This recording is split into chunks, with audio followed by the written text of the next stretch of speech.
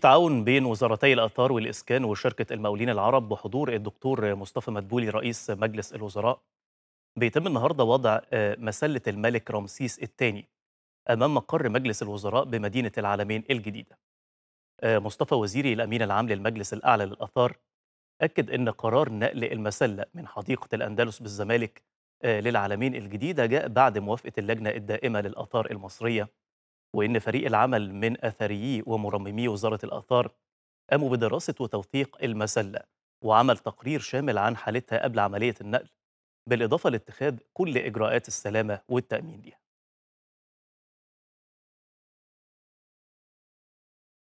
طيب لتفاصيل أكتر عن المسلة وإجراءات النقل بينضم لنا هاتفيا دكتور مصطفى وزيري أمين عام المجلس الأعلى للآثار. أهلا بيك يا دكتور مصطفى.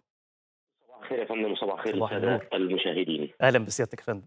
مبدئيا كده يا دكتور مصطفى عايز أعرف من حضرتك قرار نقل المسلة ليه هذه المسلة تحديدا وإيه الإضافة اللي هي ممكن تكون آه، من خلالها متحققة في مدينة العالمين الجديدة وإزاي ممكن الشكل العام الأثري يتسق مع طبيعة المكان آه، الساحلي شايف طبعا حضرتك إنه في آه، مدن وعواصم كثيره جدا بتنشأ في مصر. وده شيء مش تقليد حديث ده تقليد كمان من منذ قدماء المصريين إن هناك المسلات اللي بتزين المعابد وتزين العواصم وتزين المدن وهكذا. كان الفكرة الرئيسية للملك رمسيس اثنين لما عمل عاصمته في دير رعمسو في أنطير في الشرقية كان أول حاجة طبعا زين المكان ده كله بحوالي حاجة وعشرين مسله مم. منها بعض المسلات اللي نقلت آه، منها دي المسله إحنا بنتكلم بصددها اللي نقلت للأندلس منها مسلتين نقلت لل- للمطار.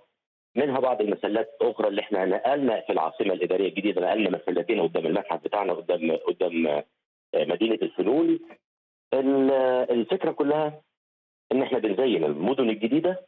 وعواصم الجديده بمسلات وده على غرار ما هو موجود في العالم اجمع آه. يعني مبدئيا يا دكتور مصطفى ده إجراء آه، متبع وليس إجراء جديد هو هو مش متبع قوي يعني حصل لكن- من مرة في أكتر من مكان بالظبط كده. ده اللي حصل إحنا آه، العاصمة الإدارية زيناها برضه بمسلتين م. قومنا متشدد شهدنا مسلتين في صنع الحجر آه، المسلة دي ترجع للملك رمسيس اثنين المسلة دي كان زي ما قلت لحضرتك كانت موجودة في بير رعنسو اتنقلت من بير رعنسو في الأسرة ال 21 مم. لمدينة صان الحجر وهناك استمروا لفترة كبيرة جدا ولأكثر من ألف سنة تقريبا هم واقعين نتيجة زلزال قديم حصل ومتكسرين إلى عدة عدة قطع.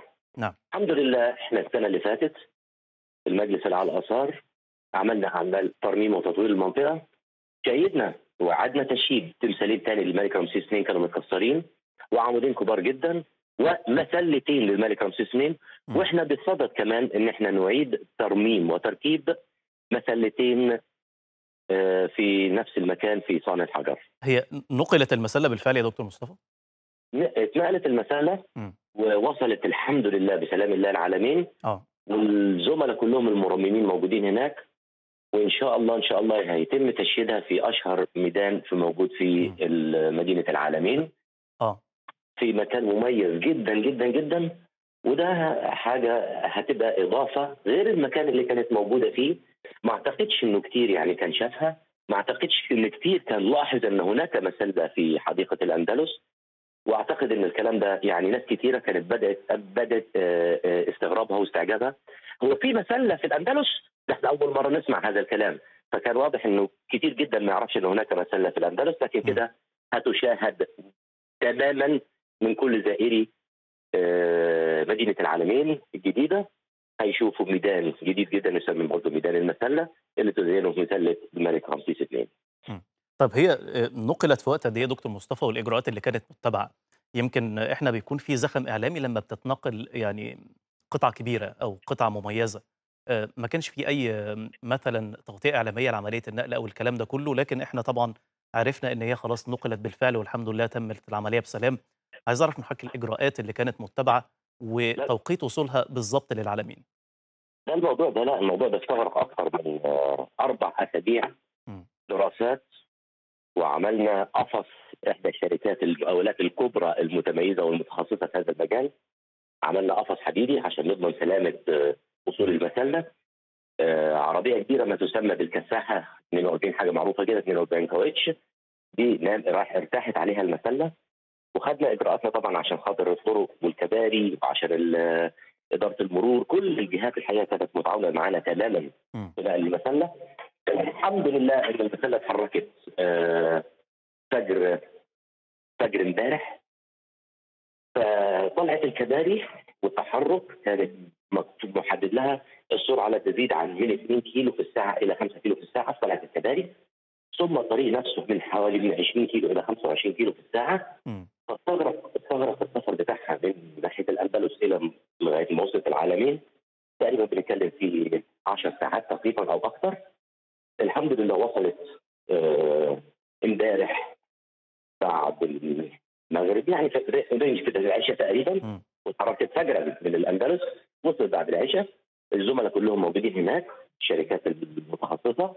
وبإذن الله تعالى القاعدة بتاعتها جاهزة. آه. وهيتم تشييرها على القاعدة. هي لسه ما اتنصبتش بالمعنى الدارج يا دكتور مصطفى. لسه ما وقفتش كده ونزلت من العربية و... وبقت واضحة للعيان يعني.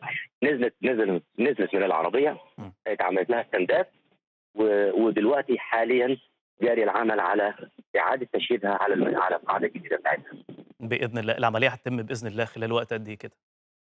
إن شاء الله نقول يا مسهل. يا رب. يا مسهل. آه أقرب وقت بإذن الله. إن شاء الله بإذن الله. تعالى وشغالين شغل كويس جدا. بشكرك جدا يا دكتور مصطفى. طبعا شرف لينا وجودك معانا على التليفون.